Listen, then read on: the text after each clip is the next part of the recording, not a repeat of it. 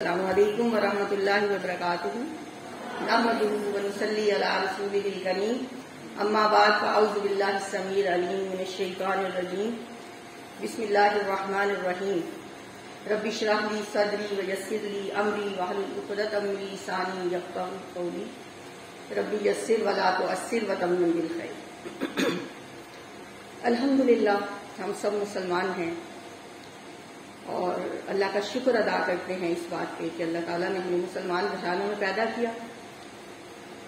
ये हमारा मजहबी फरीजा भी है और अब तो एक कल्चर भी बन गया है, अल्हम्दुलिल्लाह, कि जब बच्चा जब पैदा होता है, उसके कान में आगाज़ तो अजान के साथ, कान में अजान के साथ ही आगाज़ हो जाता है अल्लाह के नाम का, कि उसके कान में अल्लाह का नाम बढ़ता है। और फिर नबी वसल्लम का ये फरमान भी है कि बच्चे को जो पहला लफ्ज सिखाओ, वो अल्लाह सिखाओ। कलमा तैयबा सबसे पहले वालदेन की बहुत बड़ी ख्वाहिश होती है कि मेरा बच्चा सबसे पहले कलमा तैयबा सीखे।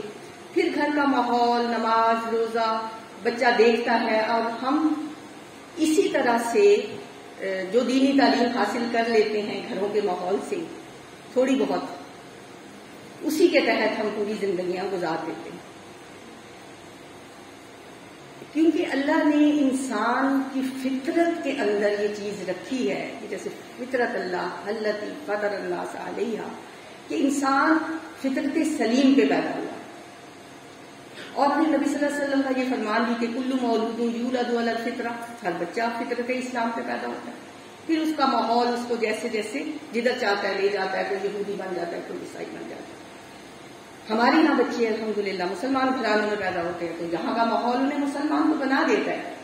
वालदेन उन्हें ईमान मुफसल भी सिखा देते हैं। आमन तो बिल्लाही व मलाइकती व कुतुबी व रसुली लेकिन ये ईमान, ये अकीदा बस अकीदे की हद तक ही रहता है। आसमानी किताबों के ईमान हमारा, हम मानते हैं कि तमाम इस्लामी किताबें बरहक हैं और इसी तरह कुरान पाक भी बरहक है। और हम ये अपना एक फरीजा समझते हैं कि बच्चे को नाजरा कुरान पढ़ा दिया जाए और पढ़ने के बाद बस एक अच्छा सा फ़ंक्शन करके आमीन कर ली जाए, ताकि ये रिकॉर्ड रहे कि हमने बच्चे को कुरान पढ़ा दिया है। अब बच्चे को समझ आती है या नहीं आती, ये किसी वालदेन की फ़िक्र नहीं होती। और अफसोस के साथ ये कहना पड़ता है कि इस की भी फ़िक्र नहीं होती। बारह साल बच्चे इस्लामियात पढ़ के आते हैं, बल्कि अब तो कुरान भी पढ़ के आते हैं। आप कोई इस्लामियत की छठी, सातवीं, आठवीं की किताब निकालें ऊपर लिखा होगा, यहाँ से यहाँ तक नाजरा कुरान इनके सिलेबस में शामिल है। लेकिन किसी स्कूल में आपको नाजरा कुरान का टीचर नहीं मिलेगा। यहाँ से यहाँ तक इन्होंने तर्जमा करना है, कोई तर्जमे का टीचर नहीं मिलेगा।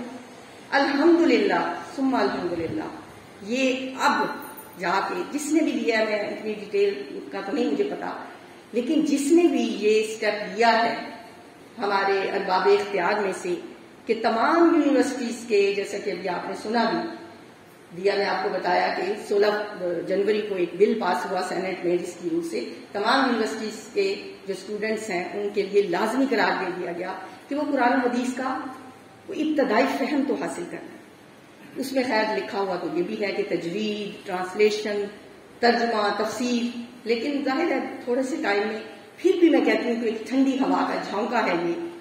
और अब ये को वॉल हमारे कोर्ट में आ गई है। हमारी ज़िम्मेदारी है यूनिवर्सिटीज की कॉलेजेस की, अदारों की और उनके इस की। क्योंकि वो हमारे अरबाब इख्तियार ने जो काम किया, वो तो अपना काम कर गए। जैसे कि हम पढ़ते हैं सूर्य यासीन में हर रोज ना नम नकतुबुमा कदम व आसार हूँ हम लिख लेते हैं जो कुछ भी उन्होंने आगे भेजा, उनके आसार भी। उन्होंने तो अपने आसार छोड़ दिए। अब ये जब तक रहेगा, चलता रहेगा सिलसिला उनका फ़र्ज़ तो पूरा हो गया, उनका तो इतना ही काम था। आगे अब हमारा काम है कि हम इसको किस तरह से लेके चलते हैं। अल्हम्दुलिल्लाह, हमारे कॉलेज ने तो बहुत अच्छा स्टेप लिया। हम क्लासेस भी लेती हूँ मैं। तमाम स्टूडेंट्स की कोई 225 स्टूडेंट्स हैं जो हमारी नई एडमिशन जिनका हुआ है, उन सब के साथ मैं बाकायदा रबते में हूँ और उनके साथ हम तजवीज ट्रांसलेशन एटलीस्ट मैं कहती हूँ कि जो इबादत है हमारी, वो तो हम समझ के पढ़ना शुरू कर दें। पूरा कुरान अगर नहीं भी पढ़ सकते, कम अज कम नमाज़ पढ़ते हुए तो हमें ये फीलिंग आए कि हम किसी हस्ती के सामने खड़े हैं और हम उससे कुछ बात कर रहे हैं। हमारा तो वो भी बस एक रिचुअल की हद तक, एक हमारी एक्टिविटी होती है, नमाज़ भी।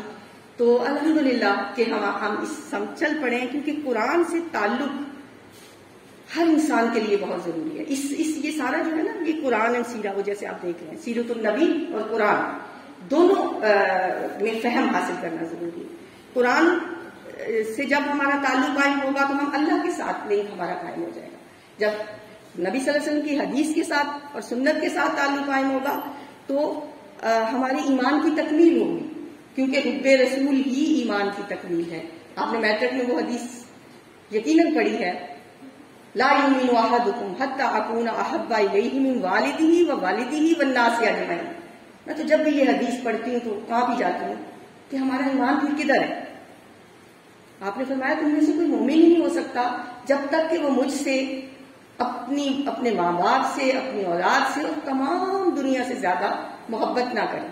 तो इनशाला इसके ज़रिए हम एक तो सीरत रसूल और सुन्नत रसूल में से अपने स्टूडेंट्स के अंदर कुछ आदात डेवलप करेंगे अखलाक नबी सल्लल्लाहु अलैहि वसल्लम उनको सिखाने की कोशिश करेंगे। इसी सिलसिले में 10 तारीख को हमारी एक सीरत कॉन्फ्रेंस भी है। उसमें भी इंशाल्लाह हम नबी सल्लल्लाहु अलैहि वसल्लम के अखलाक के बारे में जानेंगे। आज का हमारा सेमिनार खास तौर पे कुरान के हवाले से। क्योंकि कुरान वो किताब हदायत है कि जिसके लिए नबी वसल्लम सॉरी, अल्लाह ताला ने जब हज़रत आदम इस्लाम को दुनिया में भेजा था तो फरमाया था यातियन्नकुम मिन्नी हुदन, फमन तबिया हुदाया चले जो दुनिया में, जन्नत से हज़रत आदम और हज़रत हवा जब दुनिया में भेजा गया तो अल्लाह तुम्हारे पास मेरी तरफ़ से एक हदायत आएगी जो कोई उस हदायत को फॉलो करेगा, फिर ना उसे कोई गम होगा, ना उज्म होगा, ना परेशानी होगी। पर मुझे तो यूँ लगता है कि जैसे इसके अंदर यही पैगाम छुपा हुआ था कि अपने इस घर में वापस आ जाओगे फिर।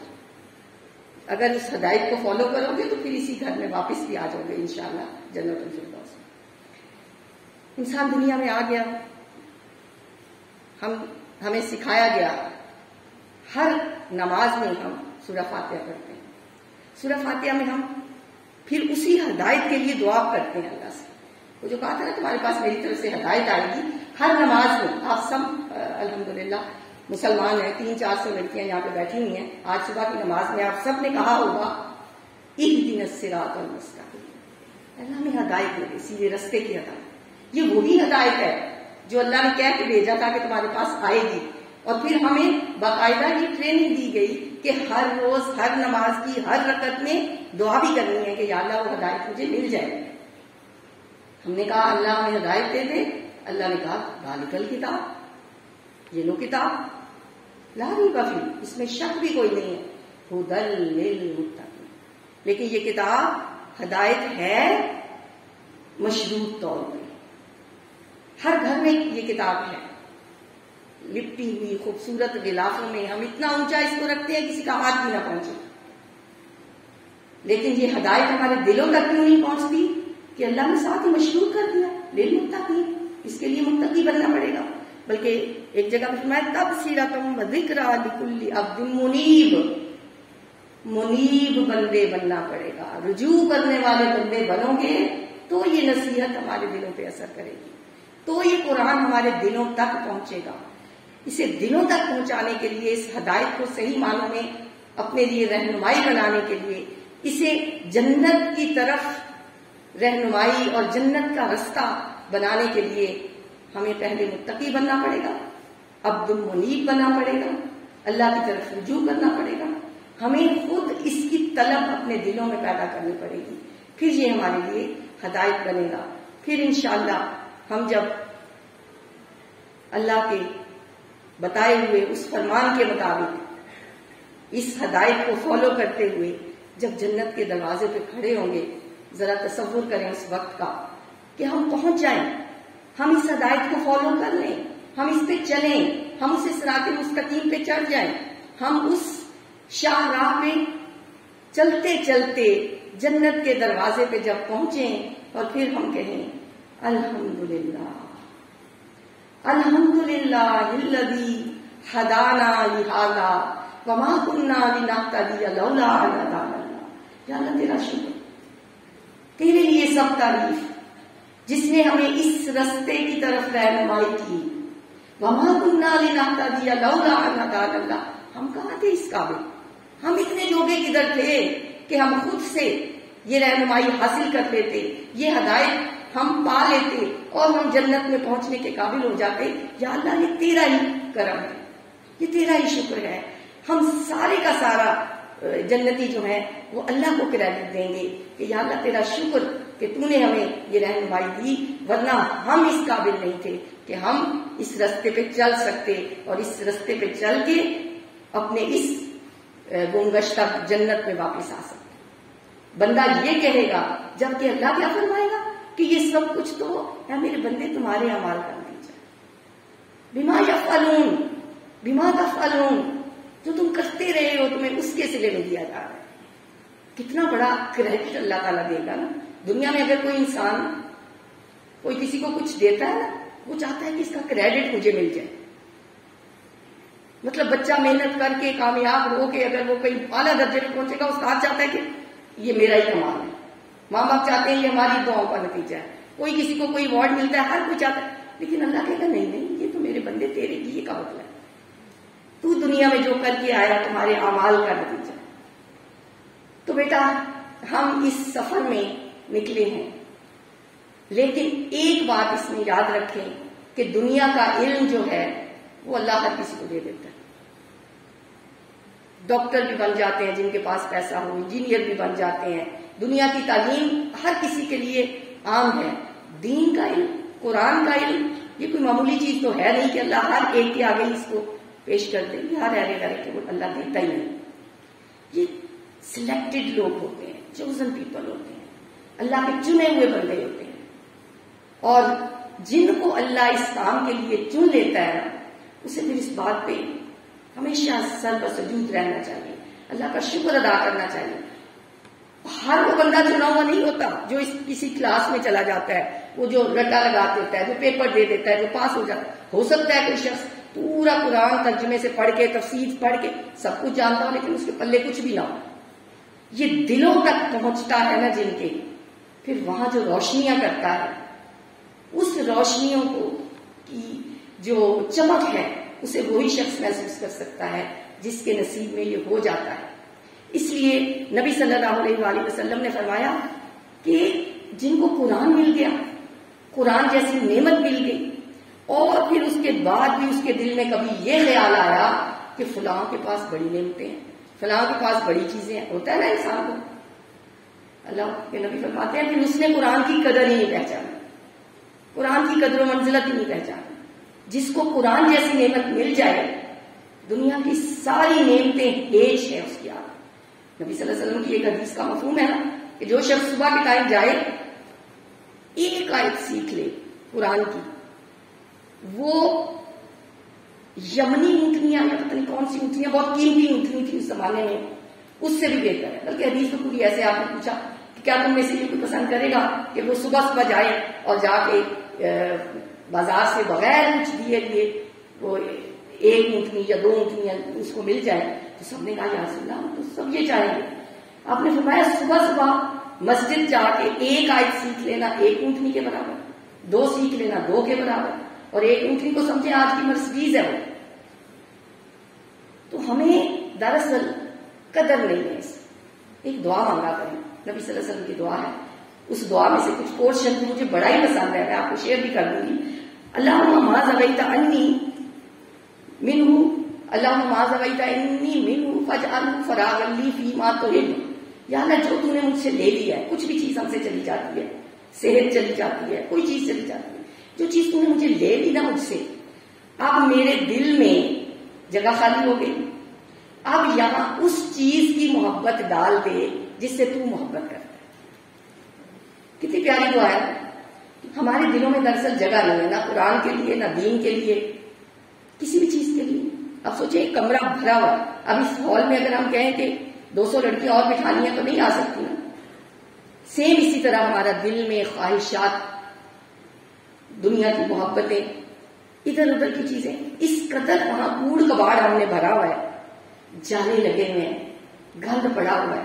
फिर हम चाहते हैं, यहाँ पे अल्लाह की मोहब्बत आना यहाँ पे अल्लाह डेरे जमाए यहाँ पे कुरान की मोहब्बत है। ये नहीं हो सकता। यहाँ जगह खाली करनी पड़ेगी तो जगह खाली बात का हम नहीं करते, अल्लाह खुद ही कर देता है। कोई कोड़ा लगता है आगे। इधर से थपेड़े आते हैं वक्त के।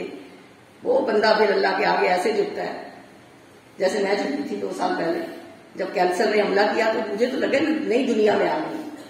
एक नया ही मुझे हर चीज़ निखरी निखरी सी नज़र आती थी।